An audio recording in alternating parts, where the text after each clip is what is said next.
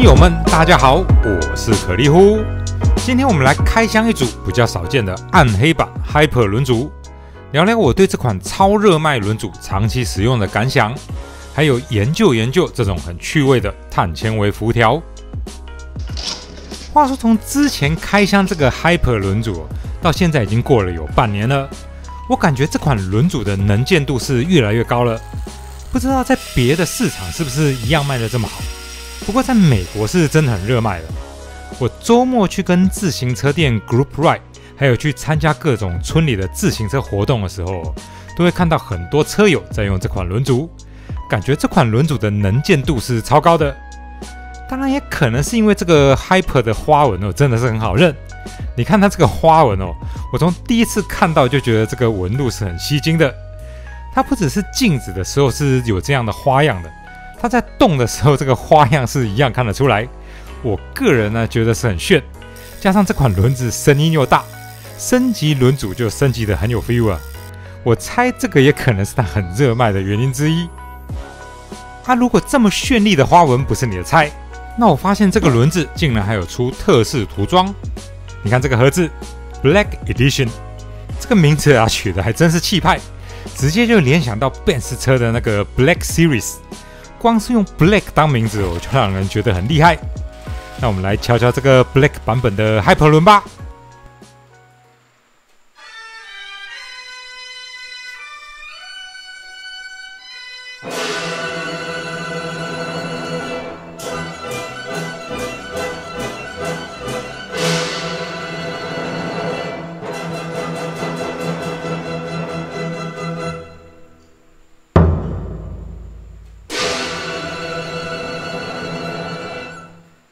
那这个就是 Hyper Black Edition，名副其实哦，它就是黑色的。这就是它与原本花纹版本不同的地方，它们就只是外观不同而已。您如果性格是比较低调的，哦那你有可能会喜欢暗黑涂装的，超过花纹涂装的。我之前开箱的那一组是框高三十八，属于低框的，重量是一三七零公克。那现在这一组是框高五十的，属于中等框高的。我们这个啊是一四六八公克，含无内胎胶带，就是说这两组的高度大约是相差一公分，重量也是大约相差一百公克。他们家最近又陆续推出很多新款，是不同高度的，所以很可能同时间哦就有很多不同高度的可以选。我是很久之前就想要来装一个五十高的。那这个轮组官网上面是写从二十三 C 开始到四十五的胎都可以装，这次我们来帮他装个二十五的好了。那这个轮组是出货的时候就已经有贴好无内胎胶带了，而且还有附无内胎气嘴。根据我用过各种轮子，还有他们家 Hyper 三十八的经验哦，他们家胶带算是贴的蛮整齐的，而且轮框的型也是有做的够精致。这个无内胎有装起来会是很简单的。那二十五 C 的 GP 五千装起来就是这个样子的，跟二十六的外框哦切起来是平平整整的，的确在直觉上是会感觉到非常的空力。啊，这个轮组跟目前市面上大部分的轮组有一个很趣味的本质上的不同，就是市面上大部分的轮组都是用金属辐条的，Hyper 轮是市面上少数用碳纤维辐条的轮组。我去年刚收到的时候就觉得很有趣，但是也有点怀疑这种辐条是不是会很脆弱。其实刚装的时候是有一段时间刻意特别的抄这个轮子，故意拿来骑烂路，还骑得很快，看看是不是会把辐条给骑坏。很幸运的是都好好的没有毛病。那这次要做这个影片哦，所以上网观察一下是不是大家都跟我一样幸运，一搜寻才注意到。原来这一年来有这么多人花很多心思在摧残这个辐条，其中有一个老兄的测试是非常的有趣，我把这个影片的连接放在叙述里面。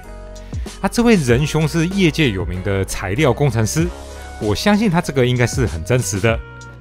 像这个是侧向刚性的测试，就是从边缘去压，轮心的部分是固定的，就是测量压的时候外缘变形的程度。自然是变形越少，就是代表轮子的刚性越强。那做出来的结果是很惊人的。Hyper 五十竟然是市面上刚性最强的轮组之一。然后这个是抗拉的测试，就是要看拉多重才可以把碳纤维辐条给拉断。一般金属辐条大约是会在三百公斤左右被拉断，可是碳纤维辐条是一直支撑到四百多公斤才断掉哦。而且断的原因呢，还是因为辐条与这个 nipple 分离了。这个是实验的图表，elongation 呢就是延展的形变程度。金属辐条是一百公斤会延展一个 millimeter，但是碳纤维辐条要接近到一百五十公斤才会延展一 millimeter。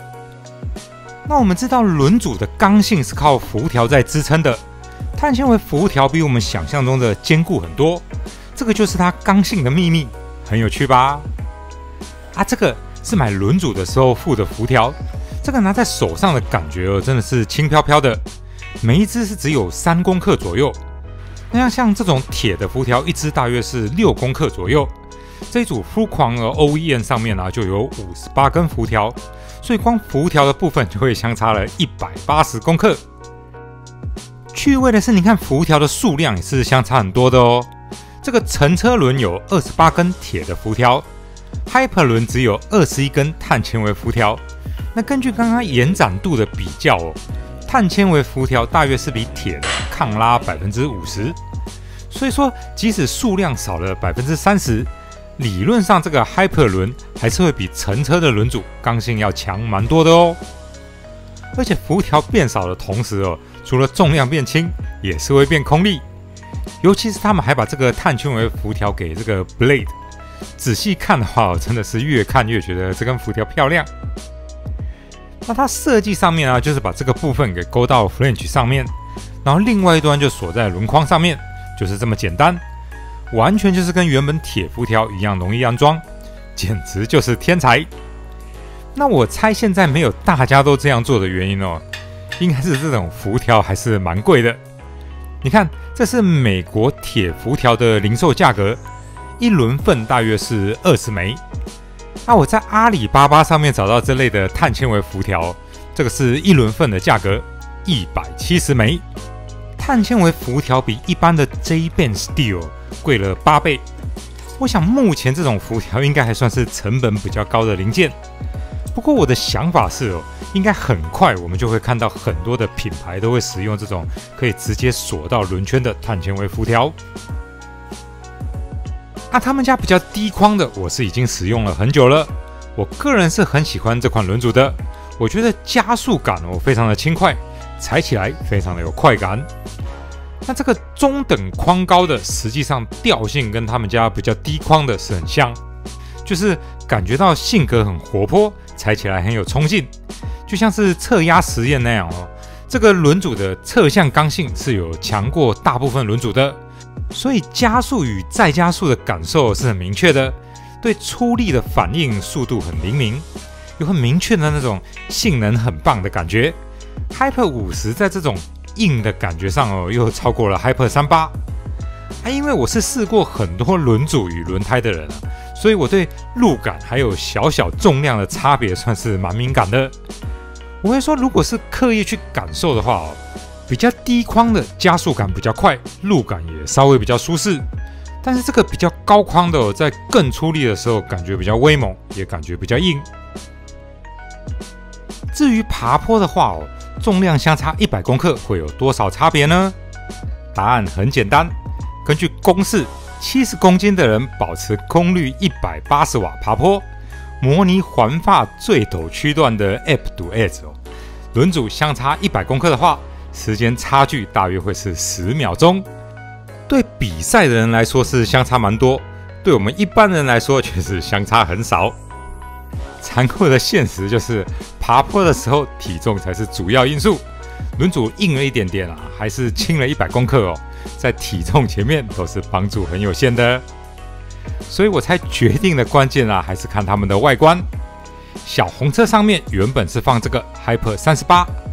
那这个 Hyper 五十是我准备给我下一台要组的车用的，车架还没有收到，所以我们先用小红车来欣赏与体验这个轮组。我猜这个中等宽高的应该是他们家兄弟里面卖最好的，因为感觉上这个高度就是看起来蛮帅的，是吧？大家是喜欢低框的样子，还是喜欢高框的样子呢？还有你是喜欢 Hyper 的经典花纹，还是黑色的涂装呢？好啦，非常感谢你的观看，麻烦按赞来支持一下这个频道。还没订阅的朋友，也这次来加个订阅吧。拜拜。